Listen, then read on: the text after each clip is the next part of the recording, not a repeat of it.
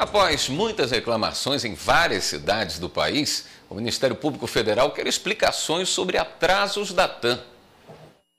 Os pedidos de informação foram enviados à Agência Nacional de Aviação Civil e à TAM. O Ministério Público Federal, por meio da Câmara do Consumidor, quer explicações sobre os atrasos verificados na segunda-feira, dia 15 de outubro, no check-in e nos voos da empresa.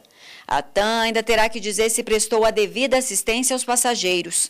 Em relação à ANAC, o MPF solicitou uma resposta sobre a eventual aplicação de penalidades à companhia aérea. O prazo para o fornecimento dos dados é de 10 dias.